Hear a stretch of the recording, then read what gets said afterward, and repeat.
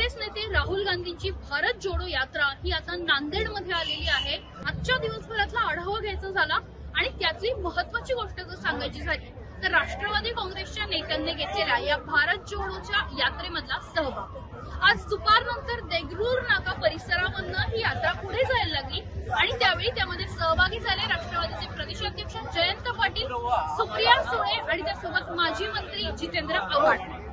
अर्थात मागच्या काही वर्षांपासून अनेक वर्षांपासून रागर आपण राष्ट्रवादी आणि काँग्रेसचं हे अलायन्स बघत असतो. बऱ्याचदा होतंय की नाही एकत्र राहतात की नाही असे प्रश्न असतात पण अनेक वर्षांपासून सरकारमध्ये सुद्धा आणि विरोधात असताना सुद्धा राष्ट्रवादी आणि काँग्रेस हे कायम जवळ होते त्यानंतर त्यामध्ये शिवसेना ऍड झाली. आणि महाविकास आघाडी नावाचं एक जे सूत्र आहे ते महाराष्ट्रामध्ये आलं अडीच वर्ष त्यांनी सरकार सुद्धा केलं. आता त्यांचं सरकार नाहीये पण हे सगळं जरी असलं तरी आज ज्या पद्धतीने सुप्रिया सुळे जयंत पाटील आणि जितेंद्र आव्हाड सहभागी झाले. राहुल गांधी हे एका कॉजसाठी चालत आहेत सद्भावना घेऊन चालत आहेत.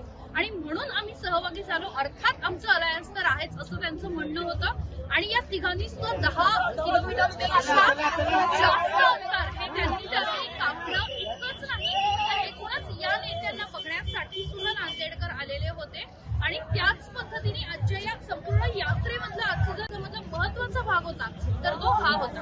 याशिवाय महाविकास आघाडीमधला दुसरा घटक पक्ष असलेले शिवसेनेचे आदित्य ठाकरे आणि त्यांच्यासोबत कदाचित संजय राऊत सुद्धा या यात्रेमध्ये सहभागी होण्याची शक्यता आहे.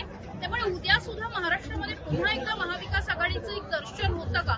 हे सुद्धा बघावं लागेल. तुर्तास राहुल गांधी आणि जयंत पाटील किंवा एनसीपीच्या नेत्यांचं काही बोलणं झालं का? आगामी महापालिका निवडणुकांमध्ये आघाडी करणार आहे का?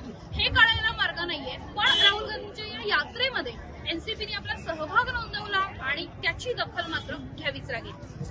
त्यांचे राजकीय समीकरण काय असतात याचा काही परिणाम होतो का हे सुद्धा बघावं लागेल. पण तूर्तास या बातमीमध्ये इतकं? व्हिडिओ जर्नलिस्ट प्रदीप ठेंगरेसह नेहा सराफ सरकारनामा नांदेड. राजकारणातील प्रत्येक अचूक बातमीचे सर्वात आधी अपडेट्स मिळवण्यासाठी सरकारनामाच्या सर्व सोशल मीडिया प्लॅटफॉर्मला लाईक फॉलो आणि सबस्क्राईब करा. तसंच सर्व नोटिफिकेशनसाठी बेल आयकॉन प्रेस करायला विसरू नका.